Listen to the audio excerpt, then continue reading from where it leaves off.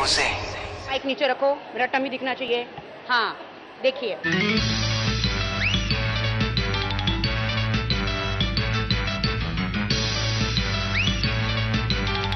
और अब चलते हैं एक्शन कॉमेडी फ़िल्म लूट के सेट पर, जिसमें आपको दिखाई देंगे गोविंदा, जावेद जाफरी और मीमो चक्रवर्ती।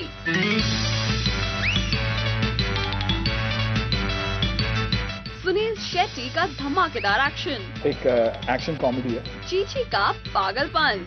ऐसे लूटते हुए कभी नहीं देखा। कभी नहीं देखा। होगा। जावेद जाफरी की ग्रूफीनेस राखी सावंत के लिए कुछ सिचुएशन चाहिए क्या आपको? और राखी सावंत के रिडिकुलस कॉस्ट्यूम बोलूँ?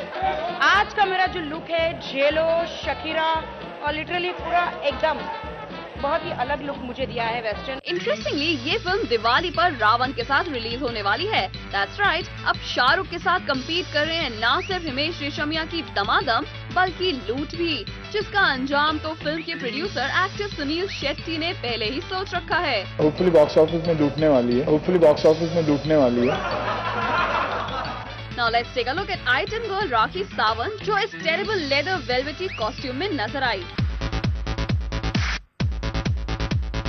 लेकिन क्या राखी को भी रावण की छमक छलो करीना कपूर से डर लगता है? मैं तो यही कहती हूँ कि रावण के बाद अगर उनको टिकट ना मिली, ब्लैक में लोग टिकट बेच रहे हैं, अगर वहाँ की हाउसफुल गया, टिकट यू नो सीटें ना मिली, टिकट ना मिली तो भाई पड़ोस में ही, दूसरे के थिएटर में मेरी फ़िल्म लगी है, लूट, भाई लूट लो।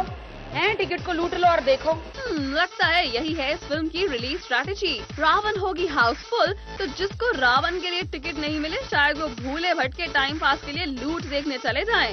Ask Rakhi a little on मतलब मेरी बॉडी है ये जवानी है इसको लूट लो। मैं ही ओरिजिनल आइटम की रानी हूँ दूसरे सब तो पानी कम चाय है। कहीं बेचारे वो भी सलवार कमीज और साड़ी में कब तक शॉर्ट देंगे? माइक नीचे रखो, मेरा टमी दिखना चाहिए। हाँ देखिए, मैं एक लेटर देने वाली हूँ और सांसद में राखी सावंत का। या फिर हर एक आइटम गर्ल का डांस होना चाहिए, चाहे शिला की जवानी हो, चाहे करीना का छमक छलो हो, या मेरी लूट ले जवानी।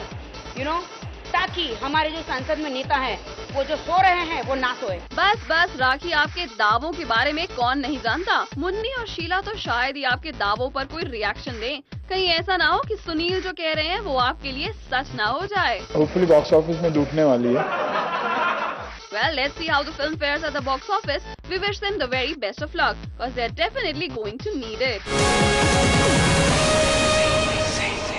Go Zing.